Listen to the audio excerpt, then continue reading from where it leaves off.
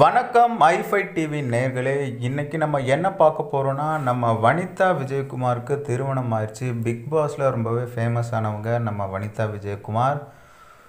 So அவரோட brother தான் நம்ம அருண் விஜய் அவர்கள். தற்போது பார்த்திங்கன்னா வனிதாவோட மேரேஜ் பற்றி அவர்கிட்ட கேட்டிருக்காங்க. அவர் பார்த்திங்கன்னா ரொம்பவே கோபம் அடைஞ்சிருக்காரு. அவெல்லாம் ஒரு பொம்பளையா? இந்த வயசில் எதுக்கு திருமணம்? ஆல்ரெடி பார்த்தீங்கன்னா நான் மூணு மேரேஜ் பண்ணியிருக்கா. இன்னமும் ஒரு திருமணம் பண்ணியிருக்கா?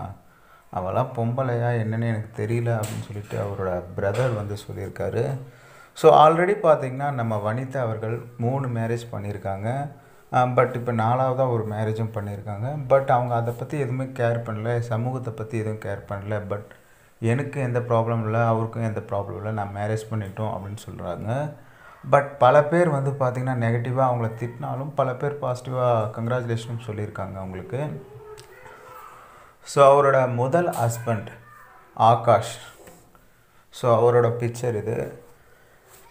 ரெண்டாவது ஹஸ்பண்ட் ஸோ இவங்க தான். மூணாவதோட ஹஸ்பண்ட் அவங்க அஃபீஷியலாக திருமணம் பண்ணிக்கல ராபர்ட்ன்றவங்க கூட. பட் அவங்க கூட ரிலேஷன்ஷிப்பில் இருந்தாங்க மேரேஜ் பண்ணிக்கிற மாதிரி இருந்தாங்க பட் மேரேஜ் பண்ணிக்கல. இப்போ நாலாவதாக பார்த்திங்கன்னா பீட்டர் அவர்களை கல்யாணம் பண்ணியிருக்காங்க. தற்போது பார்த்திங்கன்னா மேரேஜ் முடிஞ்ச கையோட ஒரு ஃபோட்டோ ஒன்று வெளியிட்டிருக்காங்க நம்ம வனிதா விஜயகுமார். அந்த ஃபோட்டோ நீங்கள் பாருங்கள் ரெண்டு பேர் கிஸ் பண்ணுற மாதிரி ஒரு ஃபோட்டோ வெளியிட்டிருக்காங்க. ஸோ நீங்கள் வனிதா பற்றி என்ன நினைக்கிறீங்க? கீழே கமெண்டில் தெரிவிங்க. ரெண்டு குழந்தைங்க இருக்கும்போது ஸோ இவங்க எப்படி இந்த வயசுலேயும் கல்யாணம் பண்ணிக்கிறாங்க?